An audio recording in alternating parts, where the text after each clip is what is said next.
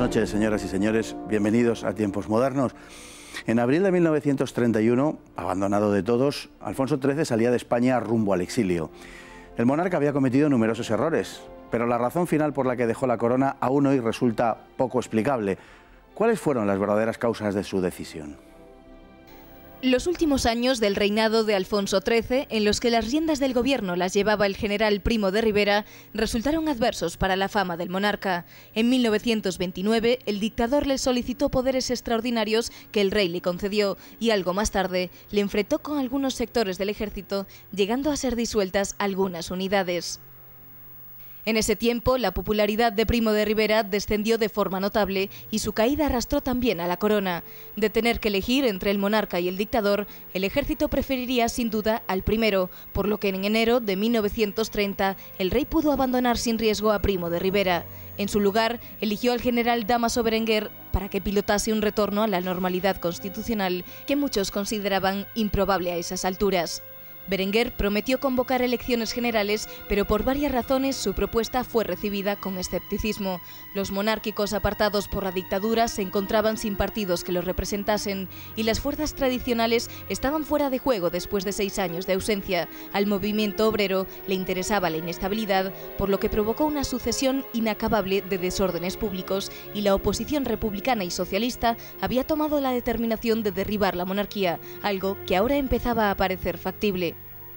Con el propósito de instaurar la República, catalanistas y republicanos firmaron el Pacto de San Sebastián en agosto de 1930, al que el PSOE y la UGT se unirían más tarde, en octubre, con la finalidad de organizar una huelga general acompañada de una sublevación militar, para lo cual se creó un comité revolucionario con 10 republicanos y tres destacados socialistas. Pero la huelga general no llegó a convocarse y el alzamiento militar del 12 de diciembre de 1930 en Jaca resultó un completo fracaso y se saldó con el fusilamiento de los dos capitanes que lo protagonizaron, Fermín Galán y García Hernández.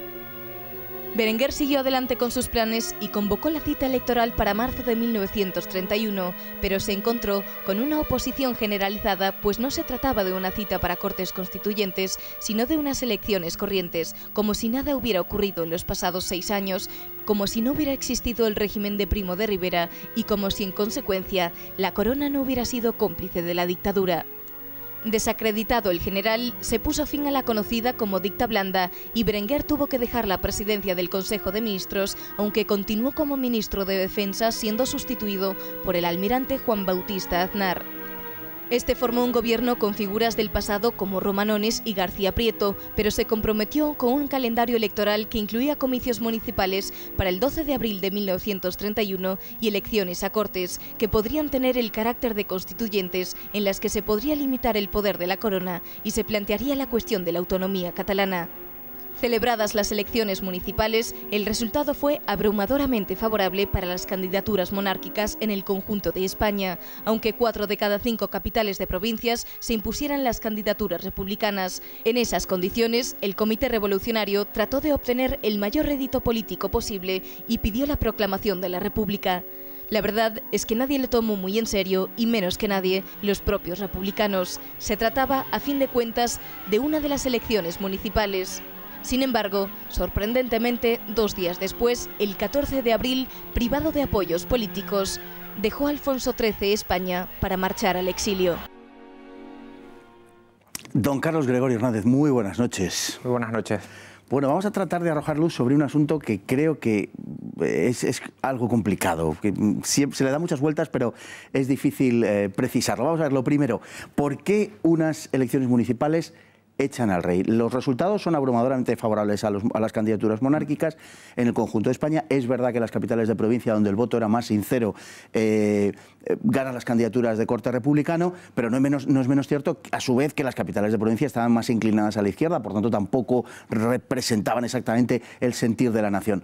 ¿Por qué unas elecciones municipales echan a Alfonso XIII? El resultado global eh, no es lo determinante porque no se conoció, es decir, las decisiones se tomaron sin conocer el resultado. De hecho, hay una comisión de investigación durante la República que cuando va llegando un poco una conclusión eh, contraria a los intereses del nuevo régimen, eh, para y, se sigue sin saber y no se sabe el resultado final. Las elecciones a corte, perdón, municipales habían tenido una primera vuelta el primer día de abril, donde solo se eh, presentaba una candidatura, era elegida sobre la marcha, el llamado artículo 29 de la ley electoral. Ahí ganan también los monárquicos. Pero el resultado de que haya ya 5.000 concejales republicanos en unas elecciones de artículo 29, digamos, donde los monárquicos no han sido capaces de competir con los republicanos, es un signo también importante. Cuando suceden estas votaciones del 12 de abril, los resultados llegan, eh, obviamente, primero las grandes ciudades porque los medios de comunicación son mejores por algo tan sencillo. El ministro de la Gobernación, el ministro de, digamos, el, pequeño equipo de Estado, etcétera, que se reúne, va recibiendo los eh, resultados de las grandes capitales, Madrid, Barcelona, Bilbao. De las ocho primeras, solo Sevilla se desmarca. Es decir, de las ocho primeras, todos son resultados a favor de la República, menos Sevilla. Ojo, es muchísima población. No es eh, una victoria en concejales, es una victoria en concejales de los monárquicos, pero en votos la cosa no es tan clara. Es decir, la población ya es eh, determinante en el caso de las ciudades. Entonces, en ese sentido, el, ritmo de la comunicación es la clave. Es la clave en este Pero son municipales. Son municipales porque era el acuerdo, eh, como bien dice el vídeo, el, acuerdo realizado era un proceso eh, que se invierte. Eh, el gobierno del general Berenguer tenía previsto ir directamente a cortes, a elecciones de diputados. El general Marzo, que era el ministro de la Gobernación, que tenía que gestionarlo, cuando llega septiembre dice, no las gano. Claro. Eh, y se cambia un poco el, ritmo de los acontecimientos. Ahí sí los monárquicos aceptan participar, primero los conservadores, luego ya también los liberales, porque se habían retraído de la colaboración con el, con el proceso que quería el rey de ir otra vez a 1923.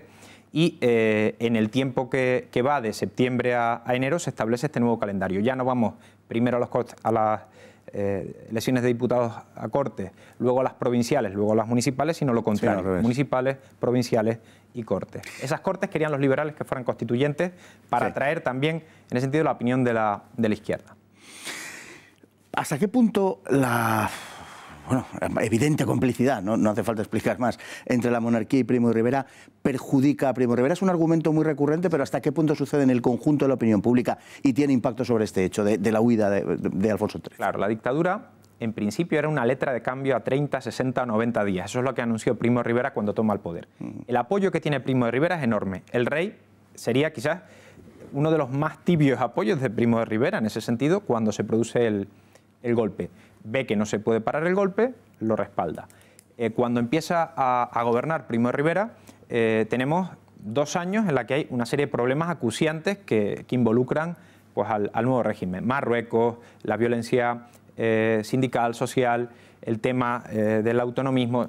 Estos son los, temas del día a día. También la cuestión política, que esa es la que le va a dar recorrido a la dictadura. Cuando llega el 25, Primo de Rivera dice, solucionados los problemas, queda el problema político y convoca un referéndum. Y tiene más de 7 millones de firmas a su favor. Y ahí se inicia el tema de la Asamblea Constituyente. Ahí los partidos políticos tradicionales, que venían dando, aunque fuera un pequeño apoyo a la dictadura, fueron retrayéndose. Los socialistas también. Y empezó, por decirlo así, la cuesta abajo política de la dictadura. Pero luego hay otro tema, que era la economía. En el año 29 la situación internacional no es la misma, hablamos del crack del 29, en España también empieza a notarse, aunque tarde, algunos efectos y tiene dimisiones de su equipo.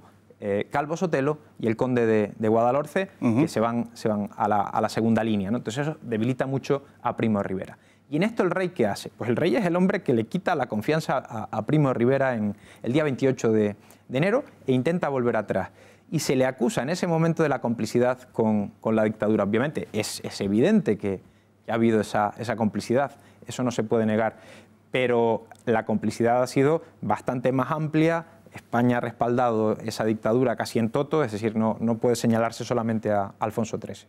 Bueno, están, por otro lado, las fuerzas de izquierda empujando también con, con, notable entusiasmo. Las fuerzas de izquierda también colaboran con Primo Rivera. Sí, no olvidemos. El PSOE colabora con Primo Rivera, el secretario colaborando y las calles a Pablo Iglesias en época de Primo Rivera. Efectivamente, efectivamente. Eh, pero eh, a esas alturas, a final de la dictadura y luego ya, una vez que termina el periodo, hasta que se proclama la República, conspiran abiertamente contra la monarquía. Eh, está el Pacto de San Sebastián de agosto 1930 respaldan el golpe de Estado militar que se produce en Jaca y que fracasa, eh, es decir, que se suman a una actuación de tipo violento para atacar al régimen. se suman y organizan. Y organizan. Por un comité revolucionario. Que, era la previsión del Pacto San Sebastián, no era ganar unas elecciones, la previsión era eh, hacer caer eh, la monarquía con un golpe de, fuerza, que es lo que ocurre en diciembre. Yo escribí sobre Leopoldo Matos hace muchos años una biografía, fue el ministro que tuvo que gestionar eso, la crisis de, Jaca, y los eh, republicanos, en menor medida el PSOE, porque solo estaba Indalecio Prieto a título particular en ese Pacto San Sebastián, tienen clarísimo que esa es la vía y fracasa fracasa totalmente. La gestión, digamos, de la represión del golpe, en el fondo también contribuye a debilitar al propio, al propio gobierno, es decir, eh, huyen algunos de los implicados, otros van a ir a prisión. hay ahora una, libertad más amplia en ese momento, desde el mes de septiembre anterior. se, toman, se toman lugares de Madrid como el Ateneo, los sindicalistas de, estudiantiles, la FUE etcétera. No se quiere ejercer demasiada violencia en ese contexto. Habían ocurrido los fusilamientos inmediatamente. Es decir, el, capitán general de Zaragoza que va a, Jaca a detener a esta gente actúa sobre la marcha. El ministro de la Gobernación le había dado una orden de no hacer nada. Esa orden no llegó. Entonces, el gobierno iba en ese sentido con el pie cambiado ante estos acontecimiimientos. Nos queda muy poquito tiempo, pero siempre ronda una pregunta en torno a la, eh, bueno, no fue abdicación propiamente en términos técnicos, pero en fin, a la salida del trono, a la suspensión del ejercicio del poder real, como dijo Alfonso XIII, y es el papel de la masonería en, esa, en ese abandono de Alfonso XIII. ¿Tiene algo que decir al, respecto? Eh, en ese sentido, soy escéptico, porque masones había en su gobierno y fuera de él, y la masonería se une para pocas cosas, sobre todo para cuestiones religiosas. En la República sí, el artículo 26 de la Constitución la votaron los masones, pero en otros temas hay división. Y están en los dos campos. A favor de la autonomía y a favor del centralismo. Hay masones a favor de la República y, que defienden la monarquía. Probablemente pesaron otras cosas más que la acción de, este, de este, grupo. Bueno, pues don Carlos Gregorio Hernández, muchísimas gracias. Ha sido, creo que, muy clarificador sobre este aspecto de la historia de España que es y será siempre, yo creo, un poco polémico por todo lo que trajo a partir de entonces. Muchas gracias, muy buenas noches. Y a todos ustedes igualmente. Hasta el próximo programa, si Dios quiere.